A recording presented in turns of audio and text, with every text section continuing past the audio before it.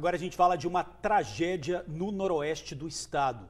Uma adolescente matou a mãe com uma facada no pescoço. Pois é, um crime terrível em família. Suzy Faria vai trazer mais detalhes dessa história. Ô, Suzy, parece que uma briga motivada aí por causa de uma roupa, né, teria desencadeado essa tragédia.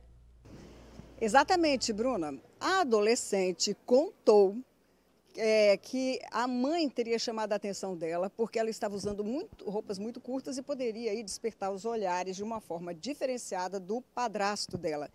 Contou ainda que a mãe teria ido até o quarto onde ela estava deitada, dizendo a mala e também tinha uma faca na mão. Ela disse que conseguiu desarmar a mãe e aí, ao se defender, esfaqueou a mulher. O nome da vítima é Luciana Nunes de Oliveira, de 40 anos de idade.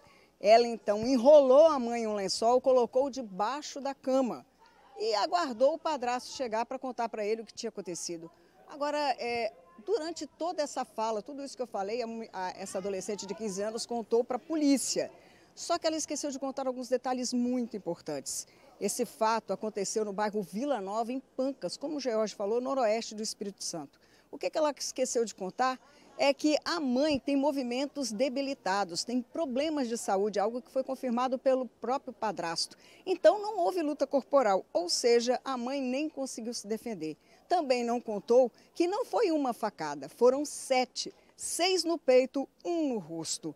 Também esqueceu de justificar por que, que ela levou cinco horas para poder se apresentar até a polícia depois de tudo o que aconteceu. Pois bem, ela foi levada para a delegacia de Colatina e lá ela foi autuada por, uma, por um ato análogo a homicídio e já foi levada para o centro correcional.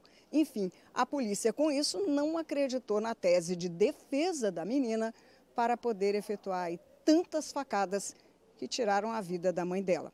George, Bruna.